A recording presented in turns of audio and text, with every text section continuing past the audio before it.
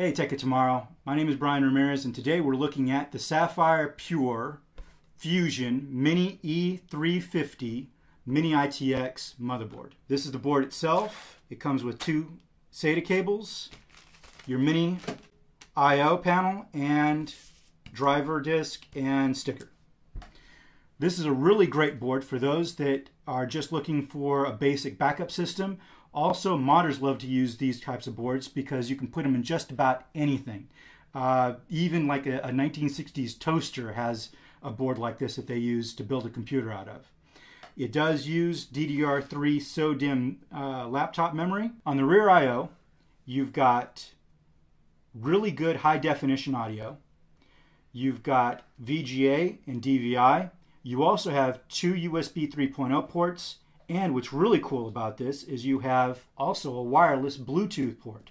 Another neat feature of this board is that you can use even a high-end video card with this. It's got a times 16 PCIe express slot. Now, this slot does run at times 4 bandwidth, so you're going to have some bottlenecking occur. But for those that just want to do basic gaming, this is a great feature. You've got five SATA ports that feature the new 6 gigabit per second transfer speed. So this is a full featured mini ITX board.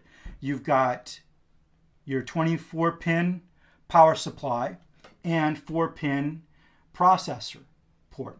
So as you can see, this board does do just about everything that a standard ATX motherboard would do, only on a smaller form factor.